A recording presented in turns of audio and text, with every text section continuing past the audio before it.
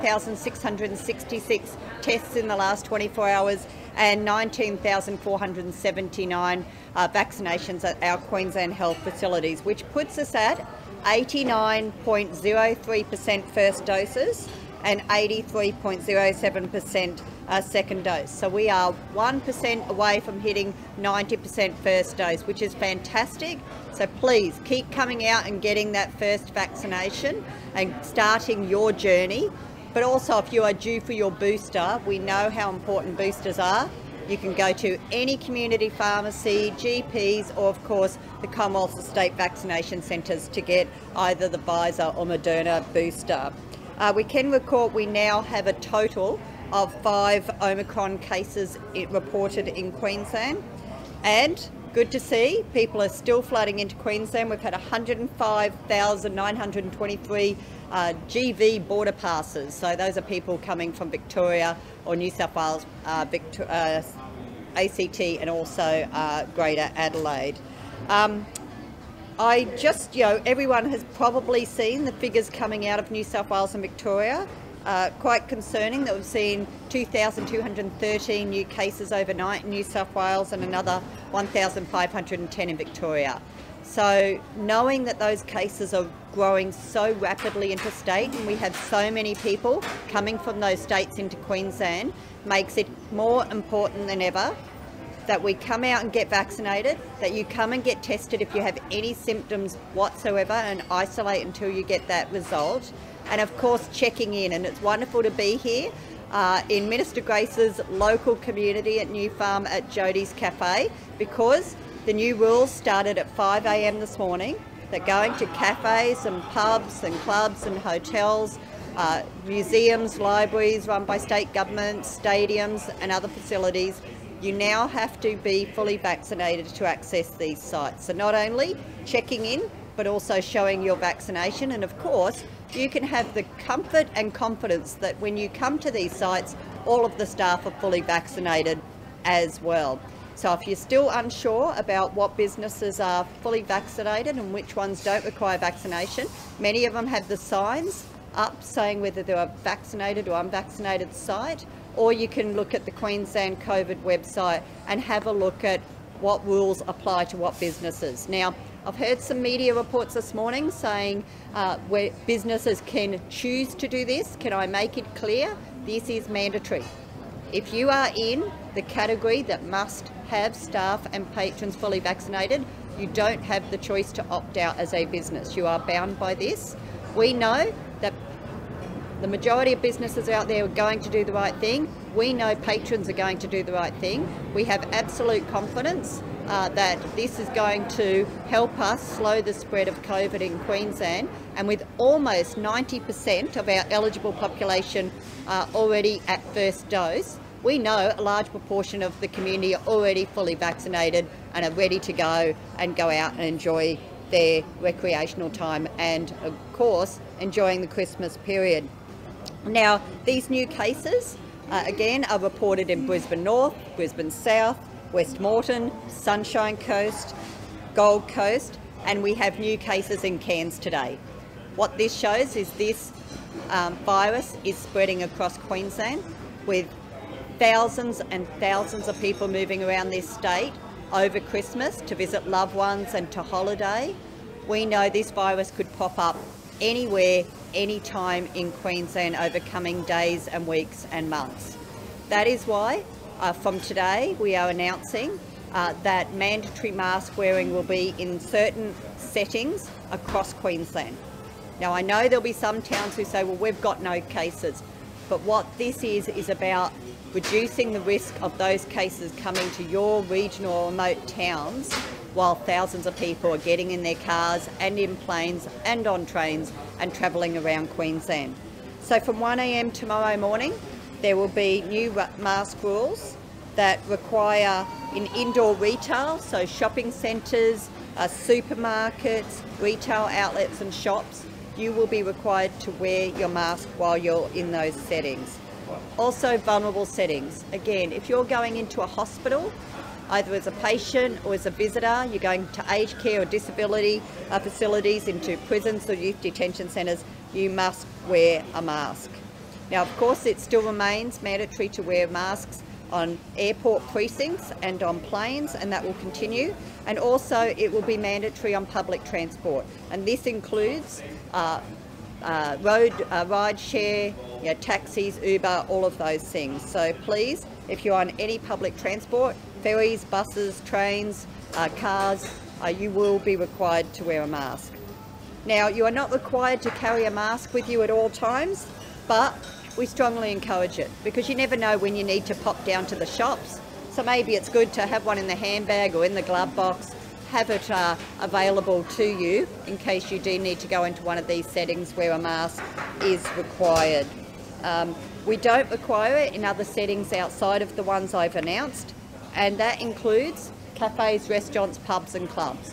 Why? Because as of today, all of those venues require fully vaccinated people to be on site. The venues we've just talked about, retail, shops, public transport, both vaccinated and unvaccinated people are allowed to go to those settings to access that transport and are all mixing together, so the risk is greater. We know masks are easy to wear and they make a difference. Look at how many times we have reduced and stopped the spread of this virus this year by bringing in masks. So I know it will be new for many, many people in Queensland, particularly outside of southeast Queensland. But it is such a small ask for such a huge benefit. So please follow the rules, put your mask on, and as the Premier said this morning, we will review the mask wearing rules when we hit 90%. So in the meantime, we want everyone to stay safe. Uh, we want everyone coming together at Christmas spending time with loved ones, uh, and we want to keep you as safe as possible and slow the spread of this virus to also slow the pressure that will inevitably come on our health system. I'll now ask the Chief Health Officer to say a few words and then Minister Farmer. And of course we have the Police Commissioner here today as well. Thank you. Thank you very much, Minister. As expected, we are now seeing COVID cases from as far north as uh, Cairns right down to the, to the Gold Coast. And this is quite expected and this will, of course, continue.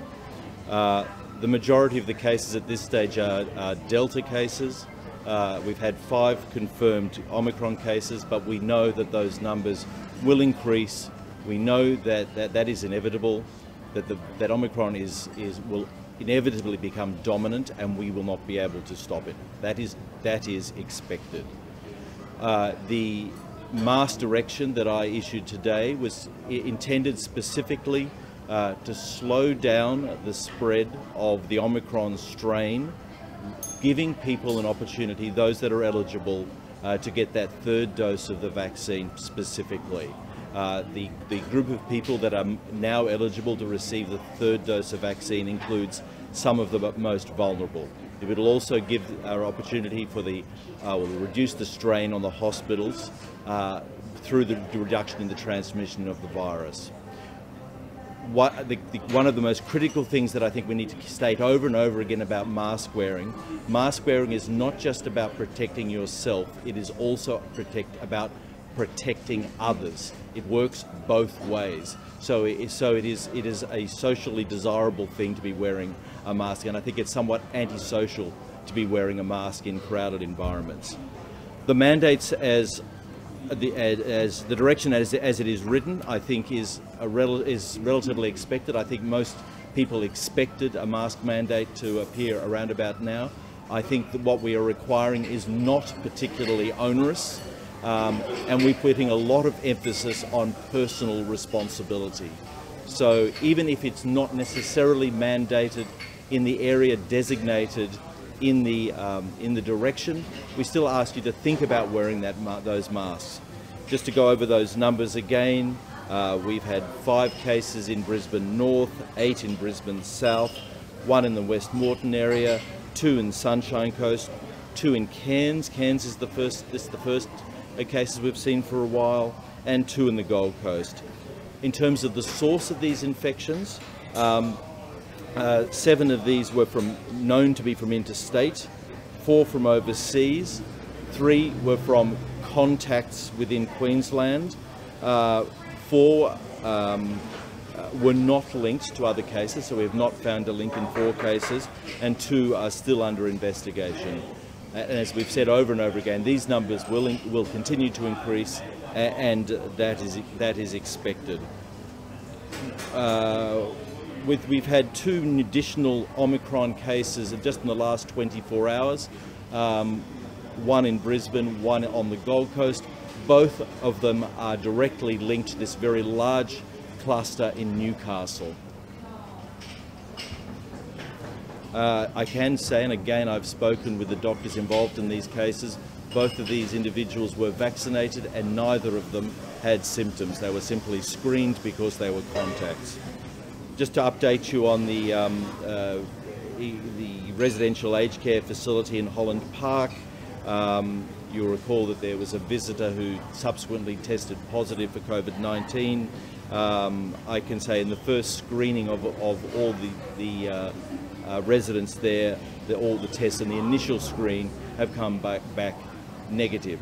The individual involved mo mostly visited uh, a, um, a, couple of close relatives. It is still a little early before we can say confidently that there is no transmission, because it's only the first 24 hours. But uh, I can say that 83% uh, of the residents had, had received at least two doses of the vaccine, 4% had received uh, one dose of the vaccine, 13% had, were not vaccinated in that facility, and I am told that the uh, rollout of the third doses, the third dose of the vaccine at that facility had begun uh, last week. Uh, there are a total of 139 residents in that facility. Thank you.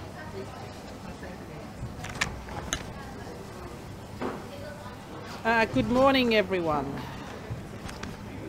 So from today, or just some hours ago, everyone entering pubs, clubs, restaurants and cinemas will need to be fully vaccinated.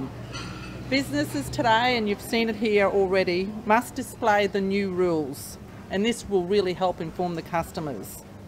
It is actually up to the operators to make sure that the patrons meet those requirements. We urge Queenslanders to be extraordinarily respectful and be kind to each other. This is the law. If businesses are experiencing difficulties or concerns, please do not hesitate in calling the police. We have increased our activity in this space. There are increased patrols as well as already the compliance checks that we are conducting on businesses. And remember, we've always taken a really educative approach on this, but if there is blatant disregard for the rules, for the law, there are fines for individuals up to 1378 and for businesses from 6,892.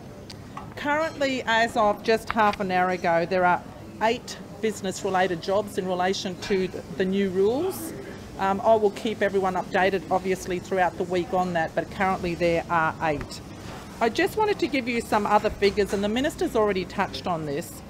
Since the borders opened on Monday, there is 105,900 GV passes. Incredible numbers. On the borders, we've intercepted 31,598 vehicles. Of those, um, in the last five days, we've turned around 126, intercepted 1,485 heavy vehicles, and turned around 19 of those. In the last 24 hours, 86 uh, flights have come in from hotspots and on those uh, we've checked 9,000, sorry, uh, 3,966 passengers, 21 people have re been refused entry, 86 have been put into quarantine from hotspots and uh, one from the road borders into quarantine as well. What we're finding with respect to those 86 in the last 24 hours, people are still waiting for their PCR tests from interstate. So rather than turning those people around, we've just put them into quarantine until those tests come through. Thank you.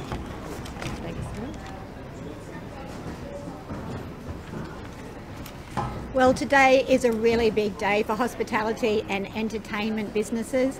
Today is the day that those businesses say goodbye to COVID restrictions and hello to a new normal. We've got Queenslanders safe, we've got borders open, and in other states, They are fighting to regain their freedoms.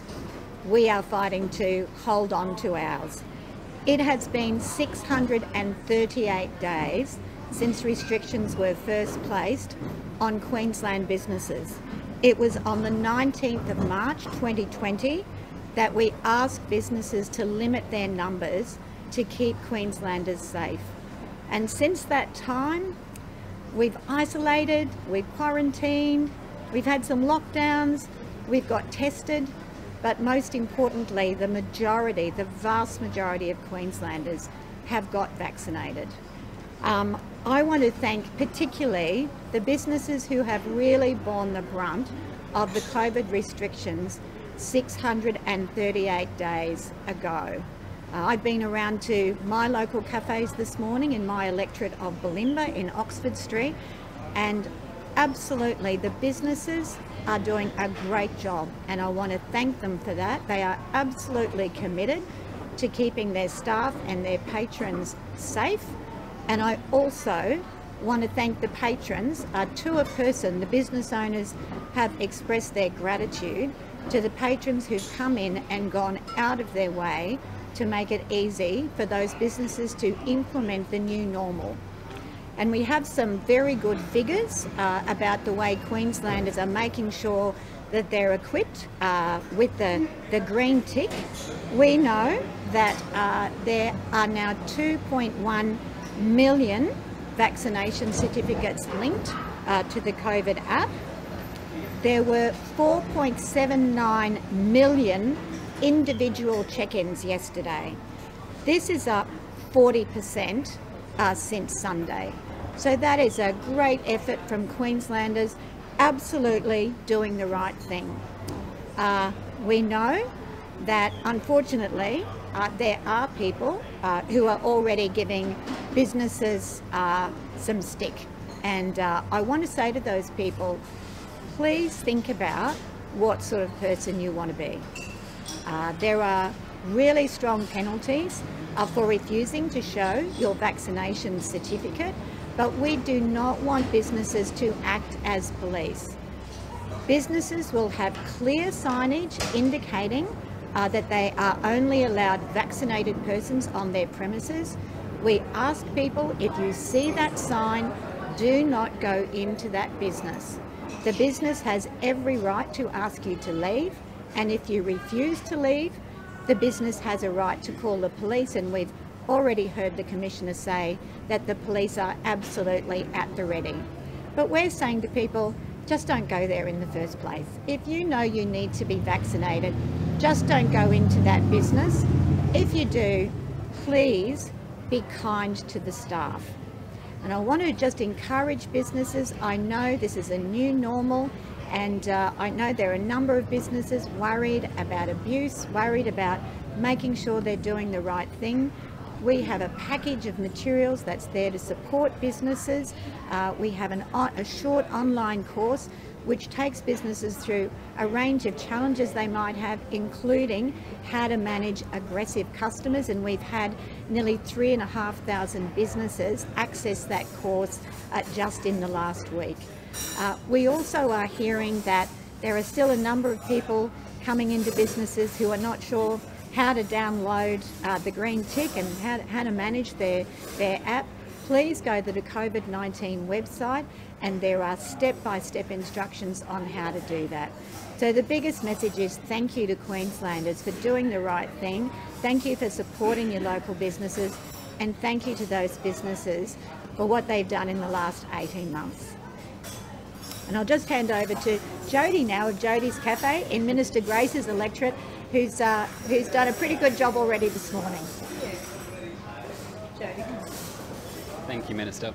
Um, I just want to say a big thank you to everybody who has come out to show support to all small businesses today. It is a milestone for myself and my business. On the 18th of March 2020, we opened our doors to the public and the day after our first restrictions and our first capacity limits hit.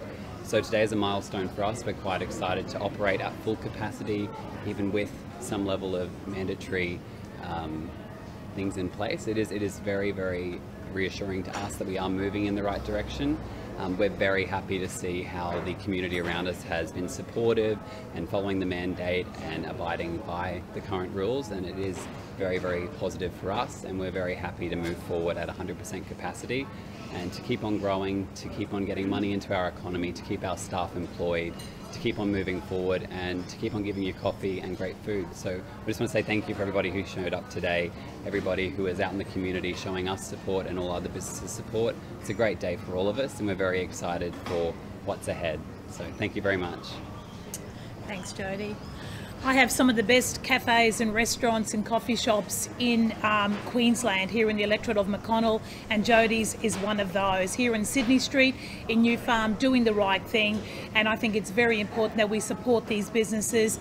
And of course, there's just three messages. Please get vaccinated. It is about keeping everybody safe here in Queensland. We see that um, COVID is definitely coming into this state. The numbers will undoubtedly increase, and we want to keep you safe.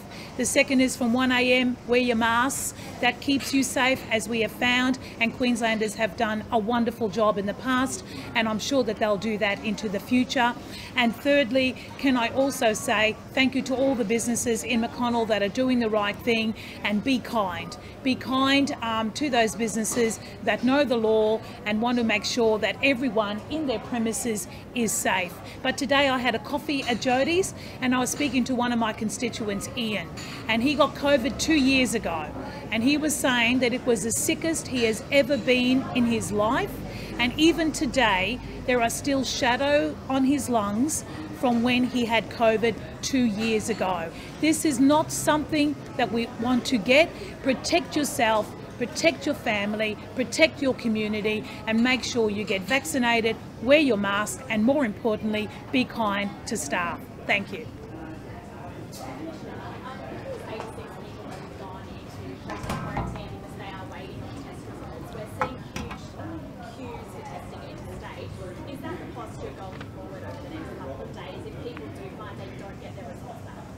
So we've adopted that posture purposely because we think it's unreasonable to send someone back home if they're only waiting for a test result.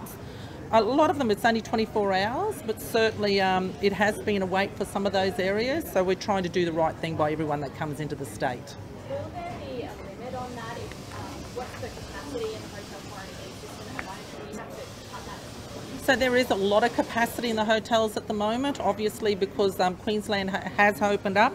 But certainly, if there's um, issues with the testing, we'll make sure that someone goes into hotel quarantine so they can get their tests.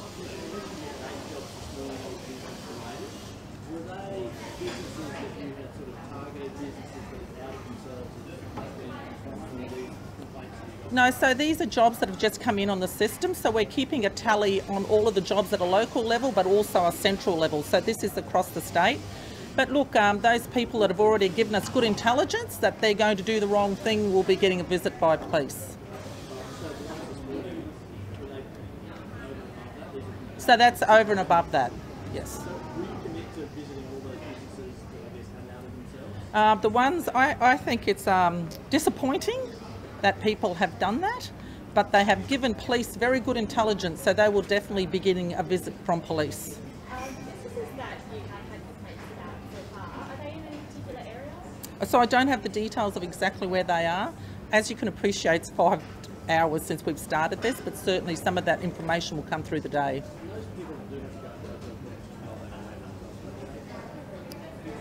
I can't answer that question, Joel. Sorry. Um, there is obviously a. Um, they know they're coming into the state uh, without a PCR test. So here we are, just trying to be, you know, very compassionate in the way that we're going about business. So we're putting them in hotel quarantine, but that usual payment system would apply to everybody because they've got on the plane without the test, and we're doing the right thing.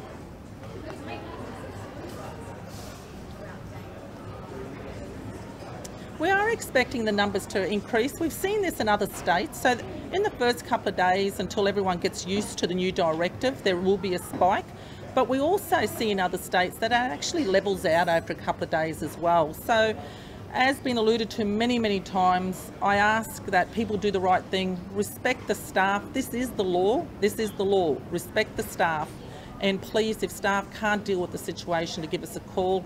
Um, as I've indicated, we have done thousands of compliance checks on businesses already. That will continue, but there will be heightened activity around this new directive. Are there reports that people are not wanting to go out many places, particularly over next week, because they're scared of being deemed a close contact? Any concerns about that? Well, that's why what we're doing today is so important because I don't want, especially elderly people, feeling isolated in the home, which is what we saw in 2020.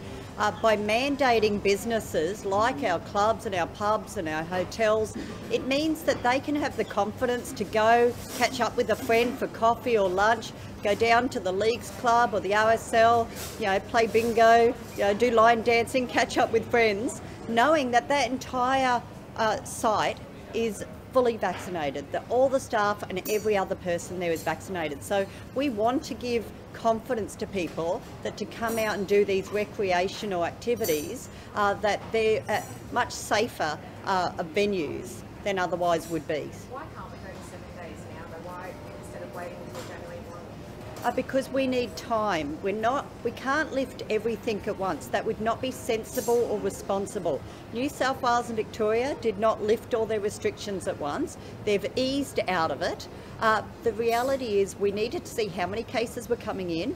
Uh, Omicron has come on the scene. That's very new in the last couple of weeks. So we just need to uh, you know, be able to monitor, to manage this in a sensible way before we get to the point that we're only requiring people to quarantine for seven days. Because if we do that and people end up turning up positive on day 12, day 13, uh, yeah, it's smack bang in the middle of Christmas and New Year, right before the big gatherings on New Year's Eve, it just wouldn't be responsible.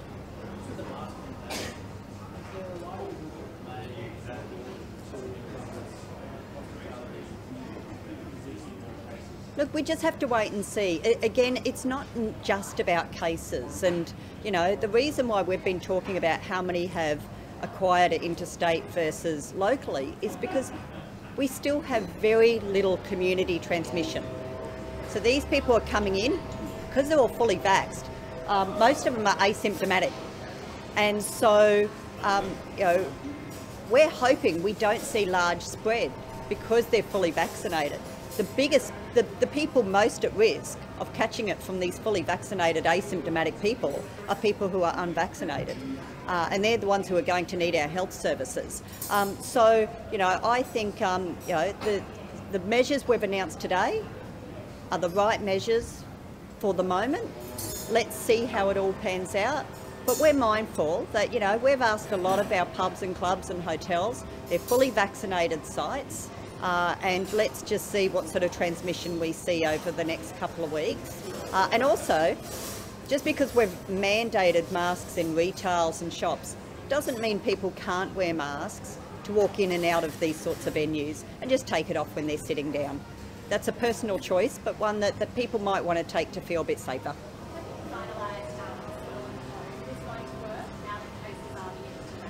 Yeah, so definitely, um, you know, our our team have just done such incredible work around the planning of all this. I get regular briefings. I got a briefing again yesterday afternoon about our our planned rollout for how we manage people, who goes into a hospital, what's the risk factors in managing that, and, and who can be managed in the home. And we're even working through what do we do with people who don't have a home. So our homeless, people who are in DV situations, people who are on holidays who find themselves a close contact and have to quarantine but can't stay in the hotel that they're in. They've run out of money, they can't stay there for another two weeks. So we're working through all of those initiatives uh, and we're very confident that we've got the right measures in place to manage these people.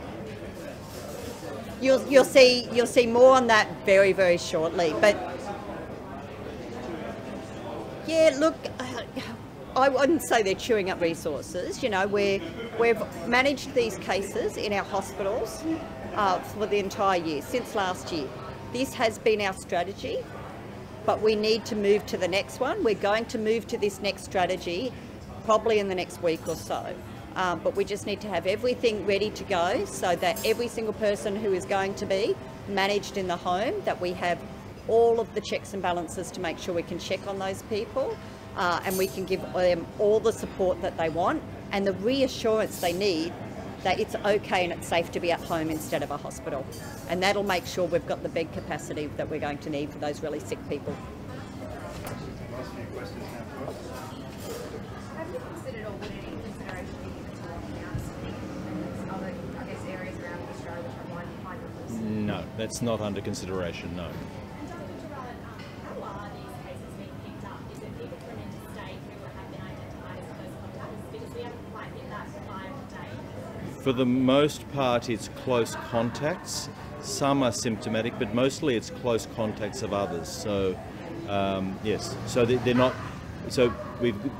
If, if they were positive before they crossed the border, of course they would not, not have crossed the border. So it's mostly close contacts. Yes.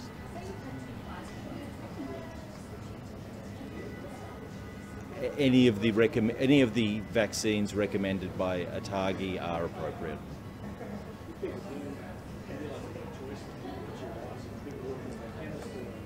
Any of those recommended by ATAGI. They're all, all of those recommended by ATAGI. With the, um, the five day PCR test, is there any more detail about how you're going to police that and make sure that people are actually To a large extent, we're relying on people's goodwill. Pe- the people of Queensland want to do the right thing, and we're finding they've been doing that from the beginning. So, to a large extent, we are relying on people to do the right thing. We know that some people who cross the border whose tests were negative prior to coming across will, will have positive tests a few days later. So, that five day test is very important, but to a large extent, we are relying on the goodwill of Queenslanders, and we know they've done the right thing right up until now. Is there an automated system to get a message or some sort of No, there's not a system like that. No. Are you concerned people will stop checking in over the next couple of weeks because they're scared that a close contact? No, just the opposite. I think I think people are aware that this this virus is coming into Queensland. I think people want to do the right thing here in Queensland. Mm, we are about to hit five days since the border opened. Would you expect quite a large increase in cases detected over the weekend? I think yes, we are expecting increase in cases every day. It's interesting. We stabilised over the last 24 hours.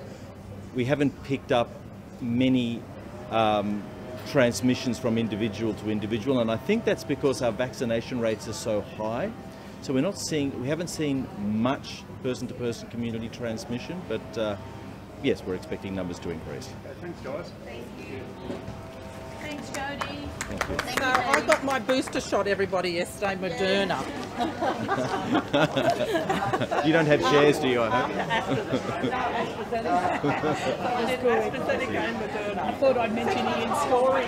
Yes, good. Good story. Yeah, worthwhile. Worthwhile. Thought that would be good to mention. Yes. Great to have Jodie here. Oh,